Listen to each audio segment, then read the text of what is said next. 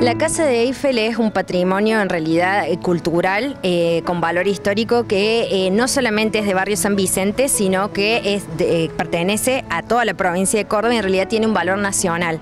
Ustedes saben que esta casa es traída en barco desde principios del siglo XX. dice que fue diseñada por el famoso ingeniero Gustavo Eiffel que hizo la Torre Eiffel. Y estamos hablando de una casa que tiene 100 años y que está hecha íntegramente en chapa, abulonada, puede ser desarmada y vuelta a armar. La casa es un chalet estilo inglés que va tomando, tiene que ver con toda nuestra arquitectura de ferrocarriles, que también tiene toda una tradición y toda una línea arquitectónica. Como patrimonio, ¿por qué tiene valor?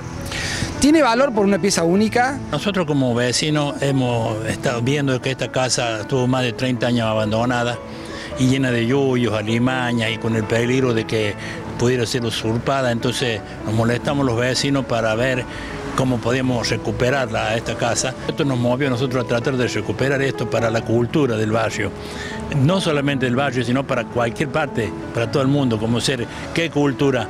Llamamos eh, exposición de cuadros, exposición de pintura, fotografía, música, nosotros estamos limpiando ahora, ya está el proyecto en la legislatura ha entrado el proyecto de ley para ser expropiada a nombre de la provincia. Este próximo domingo de 10 a 12 en el Centro Cultural San Vicente. Vamos a hacer la primera visita guiada, eh, es gratuita, eh, no se suspende por mal tiempo, le digo a los vecinos, y vamos a hacer un recorrido por lo que ya está estipulado como visita guiada y vamos a terminar acá, en esta casa, dándole un abrazo solidario.